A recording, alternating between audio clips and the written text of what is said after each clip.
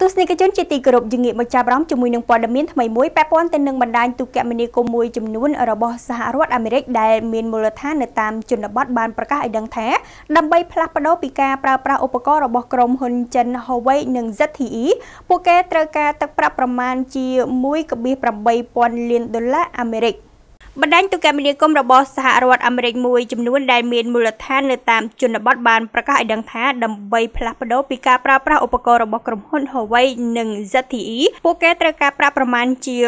1.8000លានដុល្លារអាមេរិកនេះបើយោងតាមការចេញផ្សាយរបស់សារព័ត៌មាន Reuters នៅថ្ងៃទី5ខែកញ្ញាឆ្នាំ2020គណៈកម្មការទំនាក់ទំនងសហព័ន្ធសហរដ្ឋអាមេរិកបានឲ្យដឹងថាបណ្ដាញទូរគមនាគមន៍ជនបទជាច្រើនបានរាយការណ៍មកថាក្រោយពីពួកគេបានសិក្សាទៅលើការផ្លាស់ប្ដូរគ្រឿងផ្គត់ផ្គង់របស់ក្រុមហ៊ុន Huawei និង ZTE ពួកគេបានកំណត់ថាត្រូវការប្រាក់ជិត2000លានដុល្លារអាមេរិកដើម្បីធ្វើវាប៉ុន្តែសំណើដើម្បីទទួលបានមូលនិធិពីរដ្ឋាភិបាល មិនទាន់ទទួលការអនុម័តនោះទេ FCC បានបញ្ជាក់បន្ថែមទៀតថាបើទោះបីជាបណ្ដាញទូរគមនាគមន៍ជនបទទាំងនោះត្រូវការប្រាក់រហូតដល់ទៅជិត2000លានដុល្លារអាមេរិកដើម្បីផ្លាស់ប្ដូរក្តីក៏មូលនិធិរដ្ឋាភិបាលអាមេរិកប្រហែលជាមិនអាចផ្ដល់ជូនគ្រប់តាមតម្រូវការផងដែរគូបញ្ជាក់ផងដែរថាលោកប្រធានាធិបតីអាមេរិកដូណាល់ត្រាំបានចេញបញ្ជាហាមឃាត់ការប្រើប្រាស់ឧបករណ៍ទូរគមនាគមន៍របស់ក្រុមហ៊ុនចិន Huawei និង ZTE ដោយសារតែព្រួយបារម្ភទៅលើសន្តិសុខជាតិ